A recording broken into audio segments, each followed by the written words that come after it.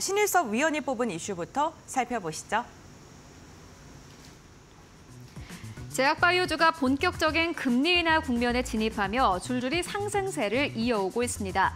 KRX 헬스케어 지수 구성 종목의 시총 비중은 지난달 말만 하더라도 8.47%였지만 지난 23일 기준 8.93%로 0.46%포인트 늘어났습니다. 유한타증권은 기업 성과가 좋은 상태에서 금리 인하까지 더해지면 하반기에도 이 같은 흐름이 이어질 것이라고 내다봤습니다. 관련주 함께 짚어보도록 하겠습니다.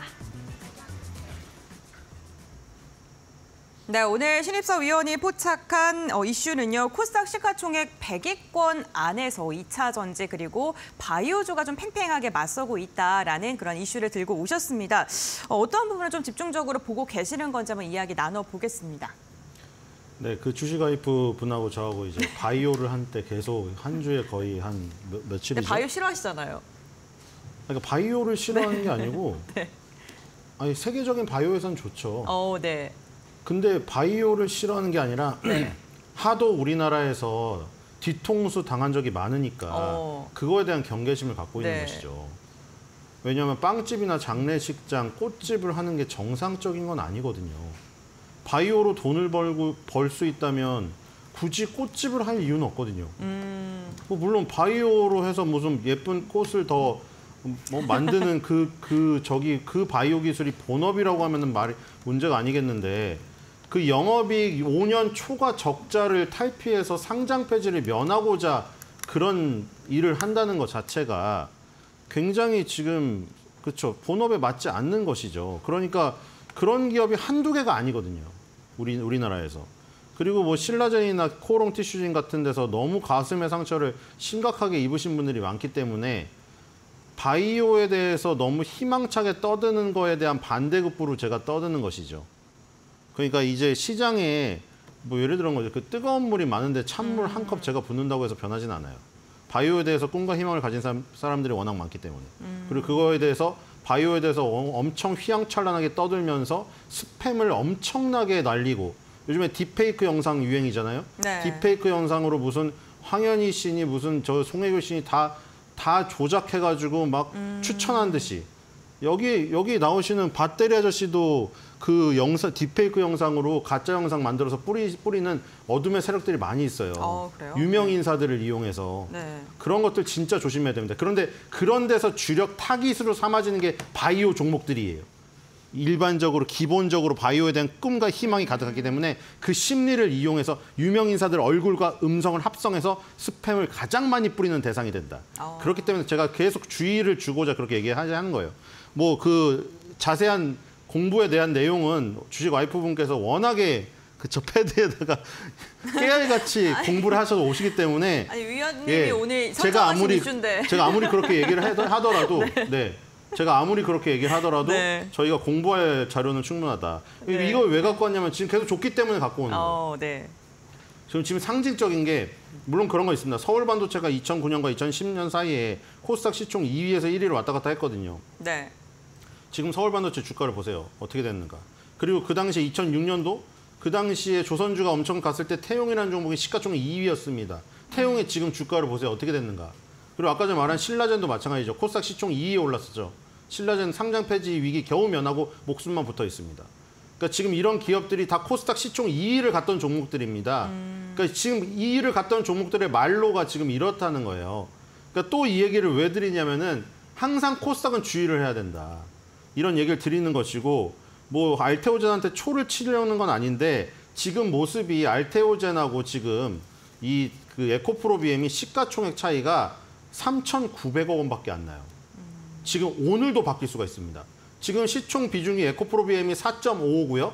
코스닥 전체에서 알테오젠이 4.45입니다. 그 밑에가 3.11인 에코프로가 차지하고 있거든요. 우리가 5위로 만약에 줄여본다면 엔캠이 1% 정도 차지하고 있으니까 에코프로비엠, 에코프로, 엔캠 요거 2차전지 3개 합치면 코스닥 비중이 한 9% 정도 돼요. 그리고 알테오젠과 HLB를 바이오로 묶을 수 있겠죠. 이게 한 7.45 정도 됩니다. 그러니까 지금 숫자상으로는 시가총액 코스닥 기준 5위 안에 2차 전지 3개, 바이오 2개예요. 그리고 시총 비중도 2차 전지 9%, 바이오 7% 정도인데 6위가 리가켄 바이오거든요. 만약에 알테오젠과 리가켄 바이오가 더욱더 진군을 하여서 만약에 5위 안에 2차 전지 3개였던 게 바이오 3개로 바뀌고 그 5위 안에 시가총액 비중이 2차 전지가 9%였던 게 7%대로 떨어지고 바이오가 9%대로 오른다. 이 변화가 나타나면 2차 전지가 아니가 아니라 코스닥은 바이오가 대세가 되는 것이죠. 상징적인 의미에서도 그렇고. 그렇기 때문에 이런 의미에서 지금 알테오젠 리가켄 바이오의 진군이 굉장히 의미가 있다. 그러니까 지금 뭐 계속해서 준비해 오시는 이런 자료들이 공부하는 데 굉장히 도움이 됐으리라 생각이 되고 그런 것들을 실전에 적용하여 지금 바이오주의 비중이 높아지고 있는 이 시점에서 우리도 그만큼의 파일을 가져가는 게 옳지 않을까 이런 생각이 듭니다. 네, 알겠습니다. 제약바이오의 약진으로 인해서 과연 2차 전지 시가총액 순위 좀 더 바꿀 수 있을지 이 부분에 대해서 이야기를 해봤는데요. 그렇다면 최윤 앵커가 코스닥 시가총액 100위권 내에서 제약바이오 관련 기업들의 최근 흐름은 어떻게 흘러가고 있는지 이 부분을 정리했습니다. 지금 바로 알아보시죠. 네, 최근 코스닥의 주인공들은 아무래도 제약바이오가 될 것 같습니다. 금리 인하에 대한 기대감 그리고 모멘텀에 대한 기대감이 있는데요. 여기에 더불어서 지금까지 많이 오르지 못했다, 좀 길게 쉬어갔다라는 공통점도 있습니다. 이제 최근 시가총액 10위권 안에 포진되어 있는 제약바이오 기업입니다. 먼저 알테오젠입니다. 알테오젠은 어제장에서 0.79% 하락세 31만 원대에서 거래를 마감을 했는데요. 예, 최근에 알테오젠 같은 경우는 29만 원대에서 33만 원대까지 올라오기도 했습니다. 주가 자체는 우상향 흐름을 보여주고 있는 상황입니다. 그리고 8월 한 달 동안 외국인과 기관이 코스닥 안에서 가장 많이 사들인 제약바이오주가 바로 알테오젠입니다. 일단은 앞으로 내년까지 실적 기대감도 있고 여기에 더불어서 10년간의 중장기 플랜도 괜찮은 기업이다라는 투자 의견 나오고 있고요. 어, 그리고 여기 더불어서 휴젤도 최근 들어서는 주가는 괜찮습니다.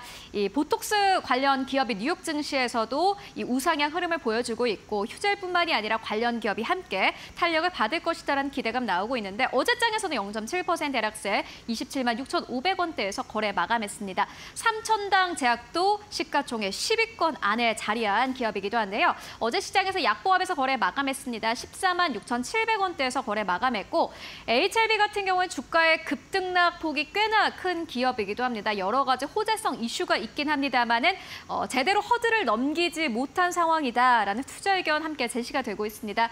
어, 어제장에서는 0.12% 약보합권 8만 5,700원대에서 거래 마감했고요. 리가켄바이오가 어제 제약 관련 기업들 가운데서는 가장 크게 좀 힘을 받았습니다. 4.5% 넘게 상승 탄력 받으면서 9만 8천 원대까지 올라오면서 이제 10만 원대를 눈앞에 두고 있는 상황인데요. 보시다시피 HLB 3천당제 휴젤 같은 경우는 최근 들어서 주가가 약간 좀 흘러내리는 흐름을 보여주고 있지만은 알테오젠과 리가켄바이오 거의 5일선 차트가 비슷합니다. 주가 자체가 반등 흐름을 이어오고 있는데 일단 제약바이오는 최근 들어서 다 같이 움직이는 게 아니라 같은 업종 안에서도 모멘텀에 따라서 움직이고 있습니다. 그렇다면 8월 한 달간 9월까지 봤을 때 어떤 기업을 보면 좋을까요? 이어서 이야기 나눠보도록 하겠습니다. 네, 최현 앵커가 이 제약바이오 기업들 가운데서도 시가총액 10위권 안에 있는 코스닥 기업들의 최근 흐름을 어, 정리해 줬습니다. 우선 바이오 관련주들 어, 어쨌든 개별 모멘텀에 따라서 주가의 방향이 사뭇 다른 모습이 나타나고 있습니다. 그렇다면 신일섭 위원은 어떠한 종목을 눈여겨보고 있는지 어떤 종목 픽하셨어요? 예, 뭐 알테오젠이죠 무조건 아, 일단 1등주기 네. 때문에 그리고 알테오젠, 리가켄바이오, ABL바이오, 펩트론 네. 전부 세계에서 싸우는 다국적 전사들한테 주어지는 무기를 만드는 업체들입니다. 음. 지금 알테오젠, 리가켄바이오, ABL바이오, 펩트론의 무기를 들고 싸우지 않으면 게임 체인저가 될 수가 없는 지금 상황이기 때문에 다들 눈독을 들이고 있어요. 그래서 지금 이 몸값들이 다 높아지는 것이고 코스닥 바이오의 대세의 지금 특징이 바로 그겁니다. 플랫폼 기술 수출을 하는 업체들로 이루어져 있다는 것이죠. 예전에 셀트리온이 주도하던 장세와는 완전히 판이하게 다릅니다, 지금. 완전히 새로운 모습으로 가고 있기 때문에 아, 이게 우리나라 코스닥 바이오에 가야 될 길이라고 지금 완전히 그 길을 열어주고 있는 업체들이죠. 알테오젠은 일단 ALT-B4 여기에 이제 요거를 특허를 지키는 게 문제가 되겠죠. 8월 22일 날 ALT-B4 제조 방법에 대한 미국 특허 등록이 결정됐습니다. 제법 특허라고 하죠. 제조 방법에 대한 거. 8월 26일은 ALT-B4 물질에 대한 미국 특허 경, 등록이 결정됐습니다. 그러니까 여러 가지로 방어를 할 수가 있는데 보통 세 개로 방어를 할 수가 있어요. 일단 물질에 대한 특허로 방어할 수가 있고 그걸로 어, 무, 같은 물질이라도 어떻게 만드는 방법 똑같이 철을 주어줘도 원시인이 누구는 철을 잘 달아서 무기를 만들고 누구는 철을 못 달아서 그냥 고철로 지금 썩게 만들 수가 있잖아요. 그러니까 제법에 대한 특허가 또 있고요. 제형에 대한 특허가 있습니다. 옛날에 비아그라가 화이자의 비아그라가 제형 특허 가지고 또 물고 늘어진 거죠. 마른 목골이라는 특이한 제형에 대한 그 부분을 물, 물고 늘어, 늘어 진 겁니다. 그래서 제형, 제법, 물질 특허 이런 것들로 방어를 치는 건데 지금 알트비포가 제법이랑 물질 특허, 미국 특허 등록이 결정됐다. 이렇게 되면서 히알루 히알루로니다제 아 이거 맨날 발음할 때마다 어려워요. 그냥 알트비포라고 하는데 미국 지적재산권 보호가 가능하게 됐습니다. 그래서 지금 알트비포라는 이 소중한 플랫폼 기술을 계속해서 뭐 머크랑 독점 계약을 했지만 지금 또 다른 그 건건 by 건이기 때문에 다른 쪽에서 또 지금 터질 가능성이 있거든요. 그래서 알테오젠의 지금 에코프로비엠을 제칠 때까지의 이 부분은 뭐 물론 2차 전지에 지금 그 좀 안타까울 수 있겠지만 약간 chasm에 빠진 이 시기를 놓치지 않고 알테오젠이 한 번 올라서지 않을까. 중간에 한 번 올라섰던 적이 있었거든요. 중간에 장중에 한 번 1위로 올라섰던 적이 있었는데 음. 종가를 에코프로비엠이 지켜내면서 자존심을 지켰어요. 그래서 이게 종가까지 지금 만약에 점령이 되어서 17조 먼저 누가 도달하느냐 이 싸움을 네. 알테오젠이 먼저 등극을 한다면 역사를 쓰게 되지 않을까 이런 생각이 듭니다. 네, 알겠습니다. 코스다 어, 제약바이오 중에서는 지금 시가총액 1위를 기록하고 있는 알테오젠을 좀 선정해 주셨고 그렇다면 곽유정 파트너님께서는 어떠한 종목을 보고 계실까요? 네, 지금 알테오젠이 에코프로 BMC 총 1위 자리를 노리듯이 네. 지금 3위가 에코프로거든요. 네. 이 3위 자리를 노리는 HLB를 가지고 와봤습니다. 어, 올해는 특히 알테오젠과 같은 바이오텍 기업들이 어, 코스닥에서 좀 많이 부각이 되는 어. 것 같아요. 이전에는 이제 전통 제약사 쪽에서 계속해서 좀 파이프라인을 늘려나가는 식의 그런 관련 이슈가 많이 나왔다면 최근에 이렇게 기술 이전이라든지 내지는 신약 개발에 대한 성과가 올해부터 조금 더 두드러지는 것 같거든요. HLB도 지금 현재 이 간암 신약 관련해서 이제 재승인 심사를 또 앞두고 있는 상황이기도 음. 하죠. 이번에 보니까 HLB 그룹이 유한 양행의 이 미국 폐암 신약 허가를 축하하는 메시지를 남겼더라고요. 사실 어떻게 보면은 경쟁사임에도 불구하고 이렇게 또 축하 메시지를 어, 남긴 것 또한 또 의미가 있다라고 볼 수가 있을 것 같은데요. 이전에 그 HLB가 유한 양행이랑 같이 공동으로 진행한 프로젝트가 있더라고요.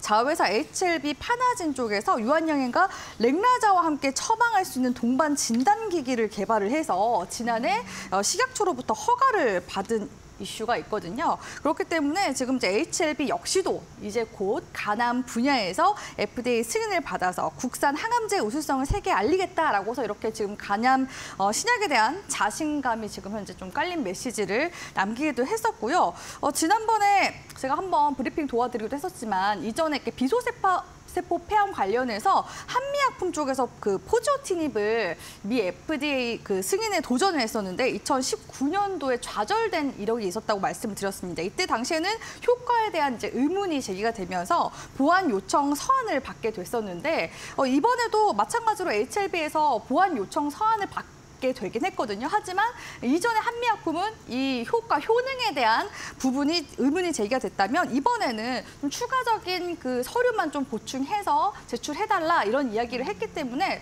사실 지금 효과에 대한 부분은 어느 정도 지금 입증이 됐다라고 이제 볼 수가 있을 것 같고요. 지난달 열린 미팅에서 FDA 쪽에서 추가로 지금 더 제출할 지금 어, 서류가 없기 때문에 재허가를 신청할 것을 강력히 권고한다라는 지금 의견을 다시 한 번 더 전달했다고 합니다. 그래서 이번에 이제 9월 중순에서 10월 경쯤에 심사에 들어가게 되면 만약에 이렇게 수정이나 추가 정보만 필요한 사례 이게 클래스 원이거든요. 클래스 원에 판단하면은 빠르면은 두 달 이내에 발표가 나올 예정이라고 하니까 그렇게 치면은 10월 달쯤에 들어간다라고 하면 11월에서 12월 달에 결과가 나오는 거고요. 조금 더 이제 시간이 걸리는 클래스 2에 이제 해당하게 되면은 한 6개월 정도 term을 두고 보셔야 되거든요. 그러면은 내년 어, 초 한 봄쯤에는 결과가 나온다라고 보시면 되겠습니다. 이번에 지금 유한양행 주가가 어, sell on으로 한번 빠지긴 했지만 지금 2거래인가 3거래일 정도 바로 이제 음. 회복세가 나오면서 신고가 행진 이어나가고 있거든요. 그러니까 그와 관련된 기대감이